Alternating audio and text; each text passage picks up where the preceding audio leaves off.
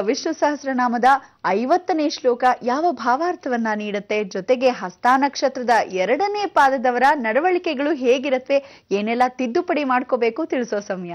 ಖಂಡಿತ. ನೋಡಿ, ಹಸ್ತ ನಕ್ಷತ್ರ ಅಂತ ಪ್ರತಿಯೊಬ್ಬರಿಗೂ ಹೇಳಿದ್ದೆ. ಯಮಧರ್ಮರಾಜಂದು ಒಂದು ನಕ್ಷತ್ರ ಅದು ಅಂತ. ಬಣಿ ನಕ್ಷತ್ರ ಸುಖ ಜೀವನಕ್ಕೆ, ಹಸ್ತ ನಕ್ಷತ್ರ ಕಷ್ಟ ಜೀವನಕ್ಕೆ ಅಂತ. ಧರ್ಮೋ ರಕ್ಷತಿ ರಕ್ಷಿತ ಅಂದ್ರೆ ಯಮಧರ್ಮರಾಜ ಭರಣಿ ನಕ್ಷತ್ರದಲ್ಲಿ ಪಾಪ ಪರಿಹಾರಗಳನ್ನ ಪರಿಹಾರ ಮಾಡೋಕ್ಕೆ, ಮುಕ್ತಿಯನ್ನು ಕೊಡೋಕ್ಕೆ, ಮೋಕ್ಷವನ್ನು ಕೊಡೋಕೆ ಹಸ್ತ ನಕ್ಷತ್ರ. ಅದಕ್ಕೆ ಯಮಧರ್ಮರಾಜನ ಹೆಂಡತಿ ಅಯ್ಯೋ ಅಂತ.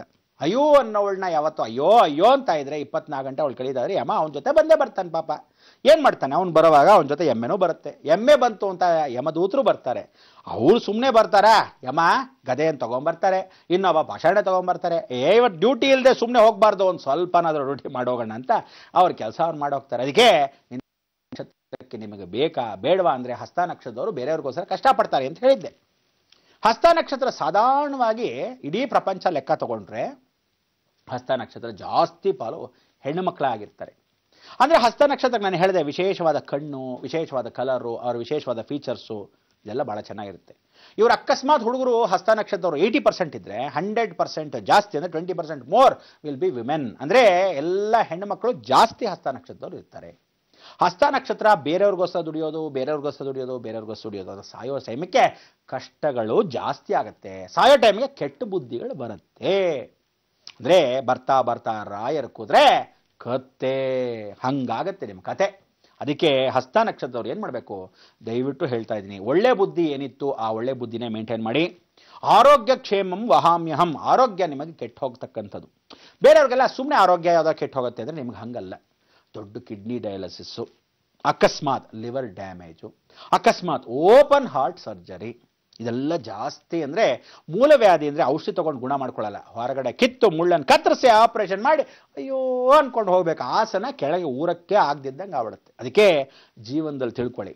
ಈ ಒಂದು ಕ್ಯಾನ್ಸರ್ ಅನ್ನೋದ್ರ ಶನಿ ಜೊತೆ ಹಸ್ತ ನಕ್ಷತ್ರಕ್ಕೆ ಭಾಳ ಮಿತ್ರ ಅಂತ ಹೇಳಿದ್ದೀನಿ ಅಣ್ಣ ಅಲ್ವೇ, ಯಮಾಗ್ರಜಂ, ಯಮನಿಗೆ ಅಗ್ರಜಾದನು ಅದಕ್ಕೆ ಕ್ಯಾನ್ಸರ್ ಅನ್ನೋದು ಯಾವತ್ತಾದರೂ ಗಡ್ಡೆ ಮುಖಾಂತರನೋ, ಬ್ರೆಸ್ಟ್ ಕ್ಯಾನ್ಸರ್ ಮುಖಾಂತರನೋ, ಯುಟ್ರೆಸ್ ಕ್ಯಾನ್ಸರ್ ಮುಖಾಂತರನೋ, ಯಾವತ್ತಾದರೂ ಒಳಗಡೆ ಹಾರ್ಟ್ ಕ್ಯಾನ್ಸರ್ ಮುಖಾಂತರನೋ, ಯಾವುದೋ ಒಂದು ಕ್ಯಾನ್ಸರ್ ಮುಖಾಂತರ, ಗೊತ್ತಿದ್ದೋ ಗೊತ್ತಿಲ್ಲದೇನ ಒಳಗೊಂದು ಗಡ್ಡೆಯನ್ನು ಸೃಷ್ಟಿ ಮಾಡಿರ್ತಾನೆ ಹುಟ್ಟವಾಗಲೇ.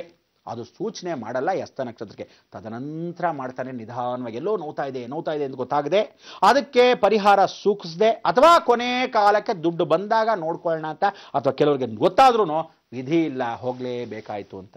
ಈ ಹಸ್ತ ನಕ್ಷತ್ರದವರು, ನೀವು ದಯವಿಟ್ಟು ಹೇಳ್ತಾ ಇದ್ದೀನಿ, ಯಾವ ಕಾಲಕ್ಕೂ ತಿಳ್ಕೊಳ್ಳಿ. ಭಾಳ ಕ್ಲೀನಾಗಿರ್ತೀರಾ ಭಾಳ ಉತ್ತಮ. ಭಾಳ ಕಷ್ಟಪಡ್ತೀರ, ಭಾಳ ಒಳ್ಳೆಯವರು.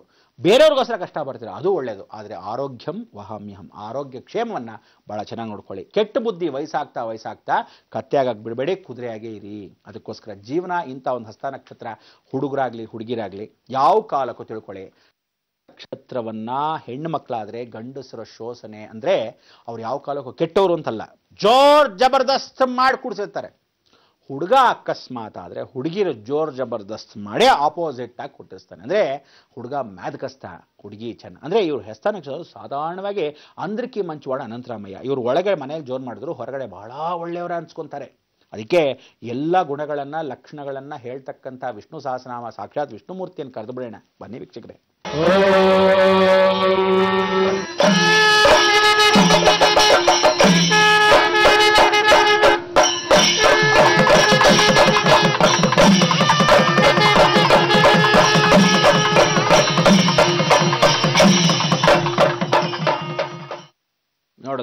ಏನ್ ಚಂಡೆ ಹೊಡೆದ್ರು ಅಂತೀರ?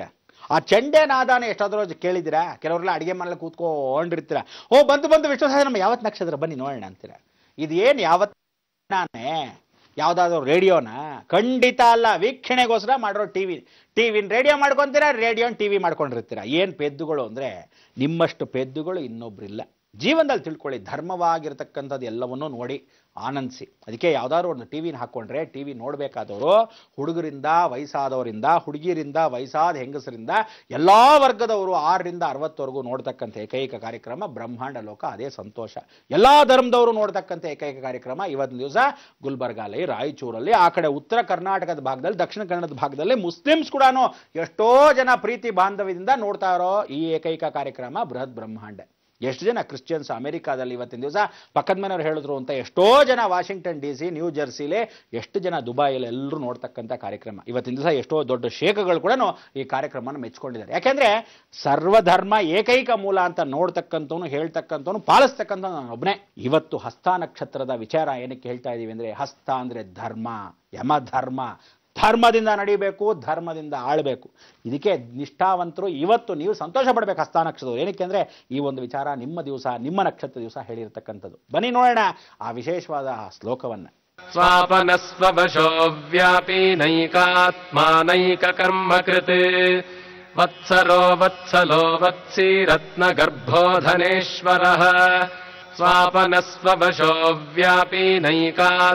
ನೈಕ ಕರ್ಮ ಕೃತ वत्सरो वत्सलो वत्सी रत्नगर्भो धनेश्वरः